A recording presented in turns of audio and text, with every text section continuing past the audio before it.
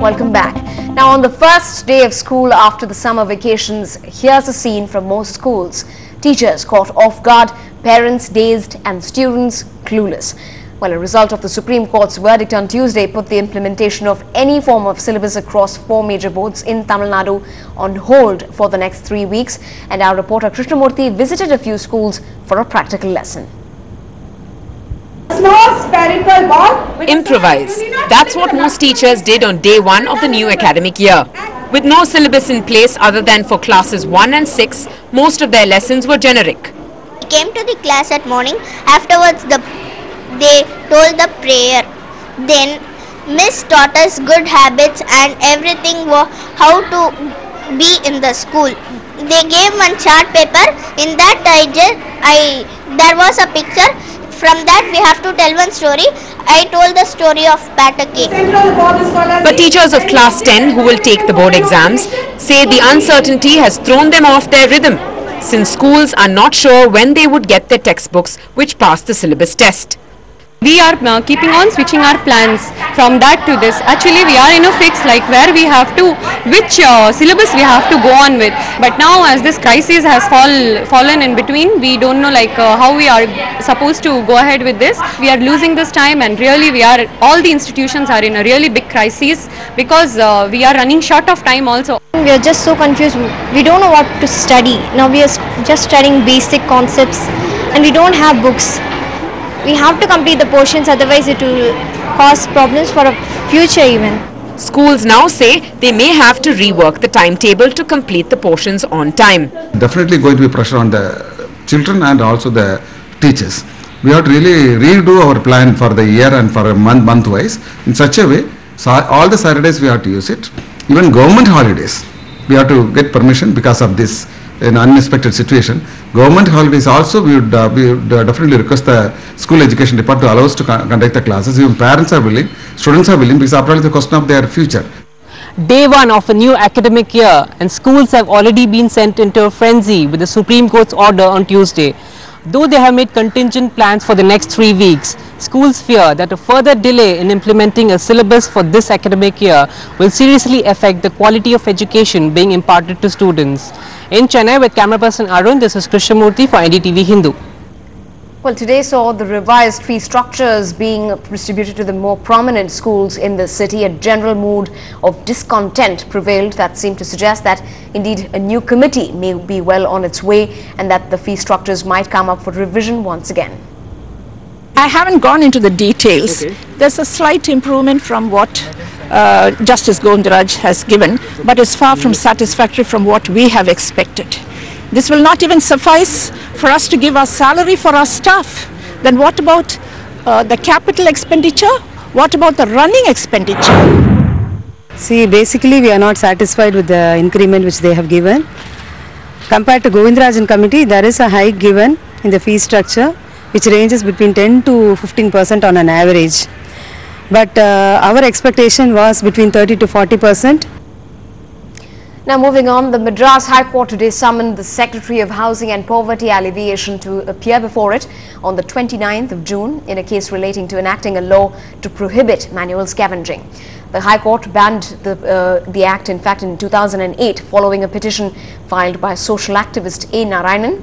The activists pursued the issue with a contempt petition in 2010 Tamil Nadu government submitted that the existing Act of 1993 does not give it enough penalizing powers to bring to book the contractors who employ human labor in scavenging. It was in April this year that the court had asked the Union Housing and Poverty Alleviation Department to reply on the delay in the enactment of a new law. But as uh, the department failed to uh, file a reply, the court had asked the secretary to appear in person on the 29th of June to really explain the union ministry's stand.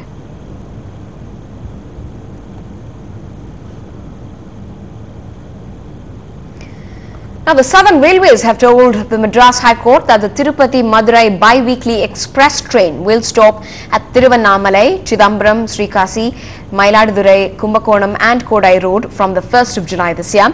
This came after a public interest litigation said that the train should stop at these important junctions.